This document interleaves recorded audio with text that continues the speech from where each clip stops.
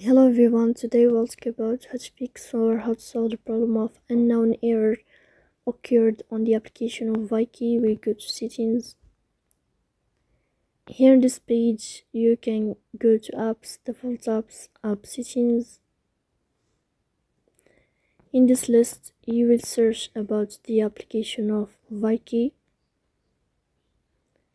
Here in this page of app info, you can click on force stop and you can click OK. Then you will enter to the window of storage. Here you can click on clear cache.